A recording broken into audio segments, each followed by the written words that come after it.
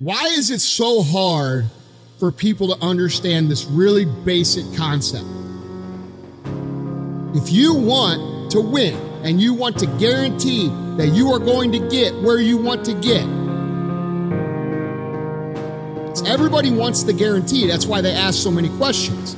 You know, they say, How long is it going to take? What's the best way to get here? What's this? What's that? And they analyze all these different things and they try to come up with this college auditorium sized blackboard full of formulas and graphs and all these things that are going to make us more successful. They're going to get us the respect that we're looking for, the recognition that we look for. We try to plan all of these things out. And the problem is for most people is they come to a point where they are overwhelmed by the information. And every once in a while, you just got a bottom line shit. What's the fucking bottom line here? And the bottom line for you, and the bottom line for me, and the bottom line for every other motherfucker on this planet is really simple. If you want to be great, if you want to get the recognition, if you want to get fucking paid, if you want all of the things that you dream about, there is only one way to guarantee that you will have those things. Only one.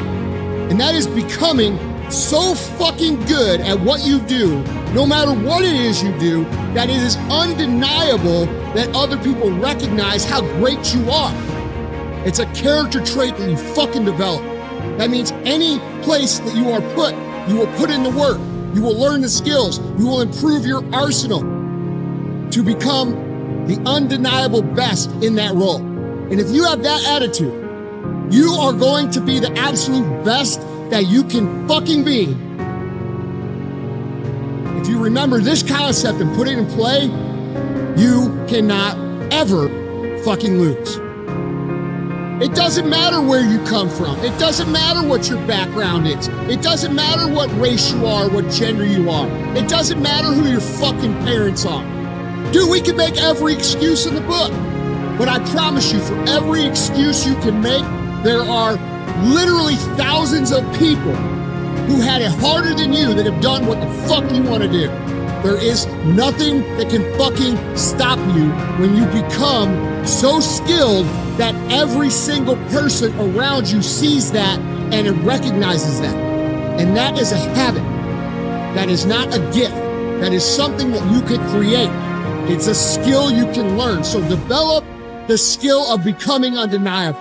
If you remember this concept and put it in play, you cannot ever fucking lose.